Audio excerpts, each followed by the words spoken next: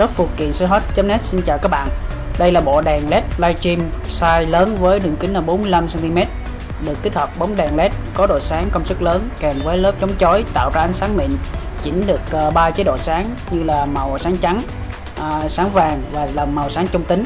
À, có thể tăng giảm độ sáng theo nhu cầu rất là phù hợp cho công việc livestream bán hàng quay video chụp ảnh make up làm đẹp đèn này kèm theo ờ, 3 bộ ờ, đầu cạc điện thoại và hai cổng sạc giúp bạn có thể livestream. Lúc ba điện thoại và vừa có thể sạc pin rất là tiện lợi. Điều khiển từ xa bằng remote.